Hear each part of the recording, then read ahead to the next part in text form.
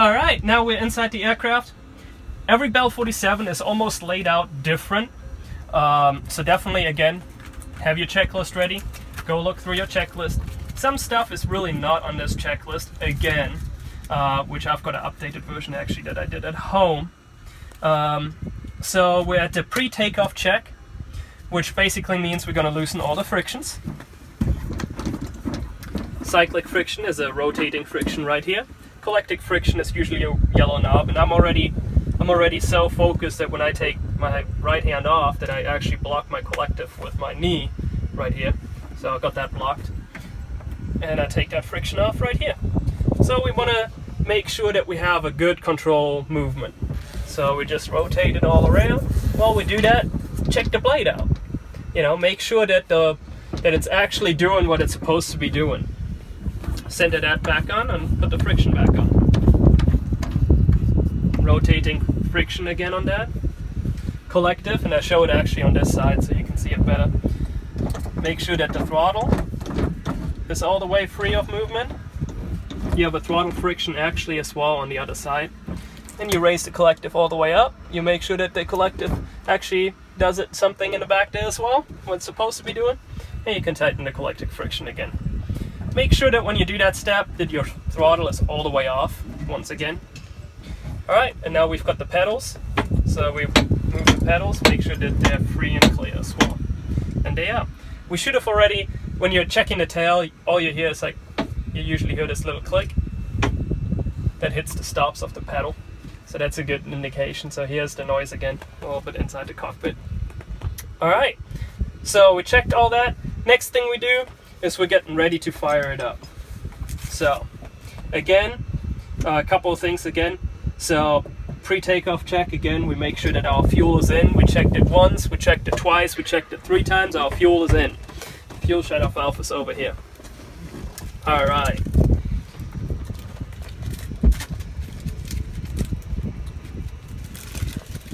There we go. All right, pedals is adjusted. So now it comes for your comfort. You have little things right here where you can pull in up and adjust your pedals. I like to have it right here. I'll make sure that that one is on that same level. They're both on the same level. And make sure that those little switches are down so that they don't move again. So you adjust your pedals and you make sure that they're to your liking, to where you're sitting, and that's pretty good. Um, seat belt.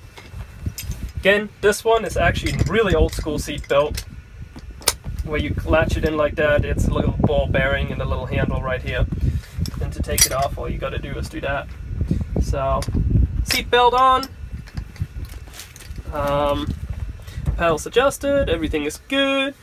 And now we go through the actual checks on the instrument console. So at that, this point you have a checklist. Refer to your checklist if you ever fly one without a checklist there's a really cool trick that I learned um, by flying a lot of different Bell 47s and it's actually moving up and down. I'm going to adjust my seatbelt here real quick. Tighten that just a little bit. There we go. Alright, so it's the up, down, up, down. Alright, so I start off at the top. My, my transponder is off, my radios are off, carburetor heat is cold, mixture is full and rich. So you have your carburetor and you have your mixture. Never, never pull that one. Only pull the carburetor heat, so always double check. Uh, battery alternators off, magnetos are off, all the gauges are zeroed. It's on engine temperature, fuel is on whichever tank you like to have it on. I like it just right. And then we come down to our, um, our switches down here. Again, we check our fuses are in, hydraulics are on, starter, um, is off. Radio master is off. Beacon I like to leave on. Nav lights is off. Our instruments are on. Come down here. Our um, inside cockpit lights are off. Reset my timer on the bottom here. Alright. Collective friction is on and we're on the throttle. Now, it's time to check your landing lights since you're on the throttle. It's on the other side here, but landing lights are off and throttle is closed. Now we go to the priming stage of it. So you saw how we moved down, made sure everything is off, everything on our console is set, everything in our collective is set on our switches. Now we prime. To prime the helicopter, roll up throttle, roll it down, roll it up, roll it down. You can actually see it as well right over here. So roll it up, roll it down. If it's cold, give it about five good cranks. If it's um, warm, about three. Then we have a little mark up here because a lot of people don't feel that, but you have a little slop in the throttle and then you hit the correlator. Right there it is. And we marked it just to make it easier for students. Um, but we want to make sure that that little mark is up. That gives us that good start.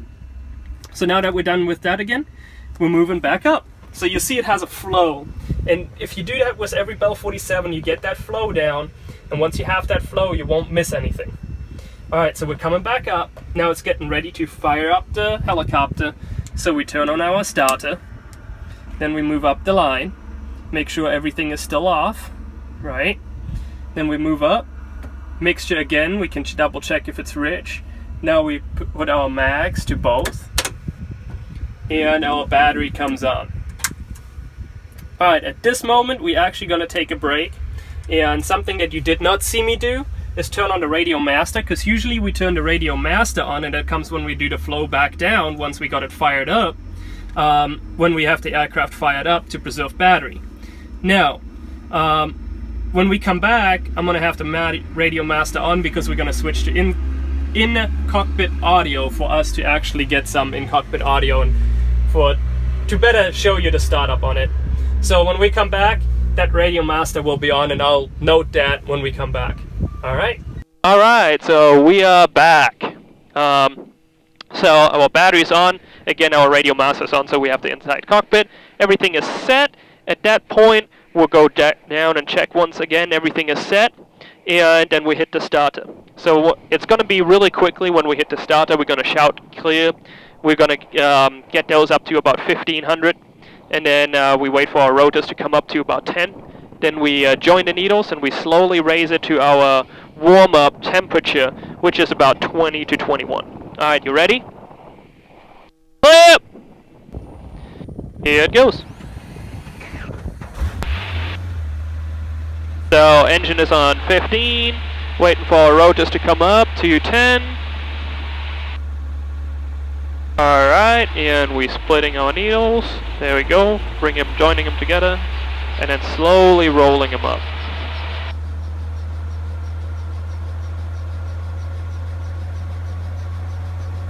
We want to stay out of the yellow area that you see right now. And that is because we have synthetic resonance from the stabilizer bar.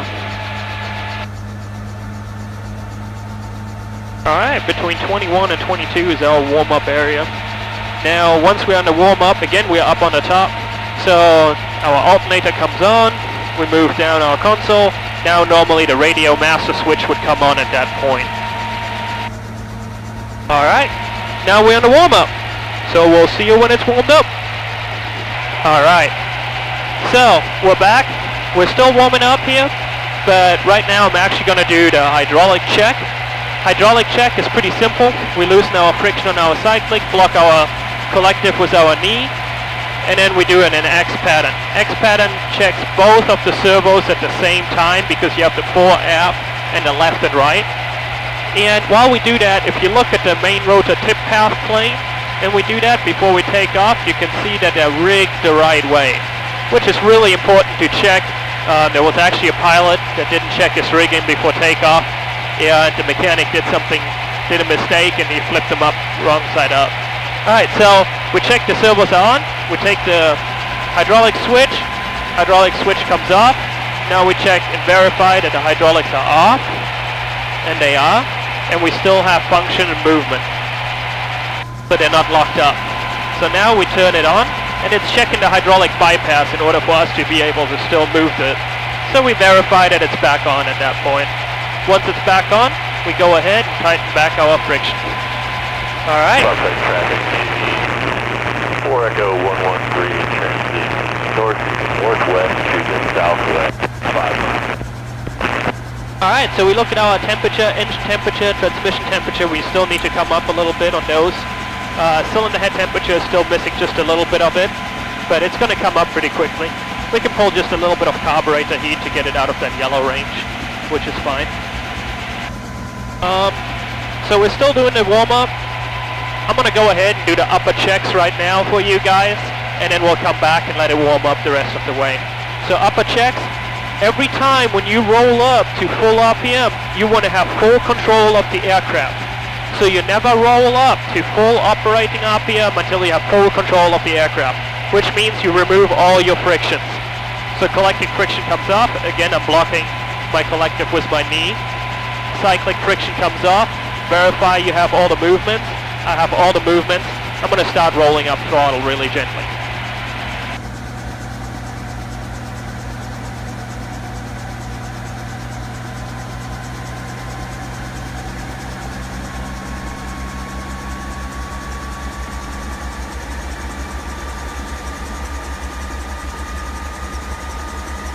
Alright, we are on operating RPM. We're going to go ahead and do a magneto check. Two to the left, one, two, one 1000, two 1000, back to both. Bring the RPMs back up. We just checked the RPM drop. And one to the left, one 1000, two 1000, and back to both. There is one other mag check that you can do. Uh, you don't really have to do it very often, but it's to check the timing between the mags. So I turn to the left mag, I let it drop. Once it dropped, I switch to the right mag and observe the drop or the raise of it, and there's no drop or raise, which means they're timed pretty good. That is one of the checks that a lot of people don't know about. Alright, so now we do our sprag clutch check, make sure our sprag clutch is working. So we under grip around the throttle, we under grip around the throttle, and then we roll off throttle, three, two, one. Alright, our needles split pretty nicely. So now we wait till our needles are joined. Check our idle at this point.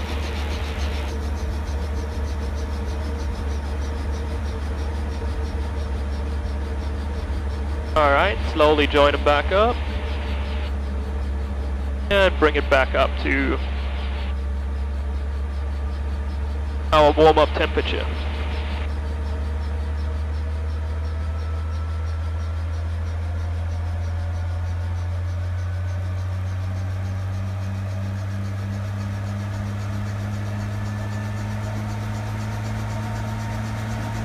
Alright, let's check our temperatures one more time. Temperature's good, transmission temperature's good, cylinder head temperature picked up again.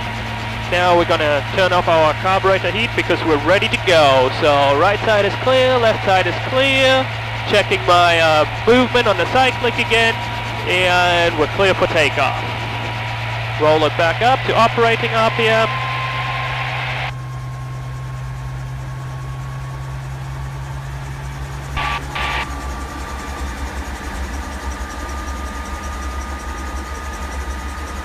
Alright, raise on the collective.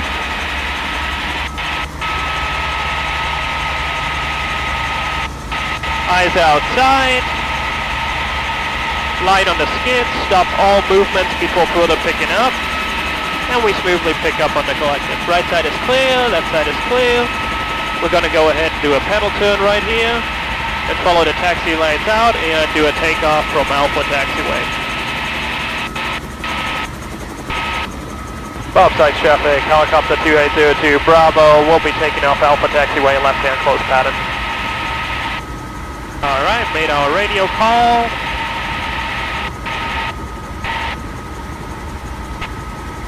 Right side is clear, left side is clear, no oncoming traffic on Alpha Taxiway.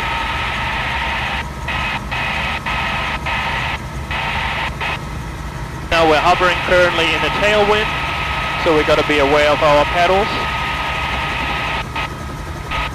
Alright, we're crabbing a little bit into the wind here, and we're taking off on Alpha Taxiway. All we got to do is just slowly sink forward on our cyclic,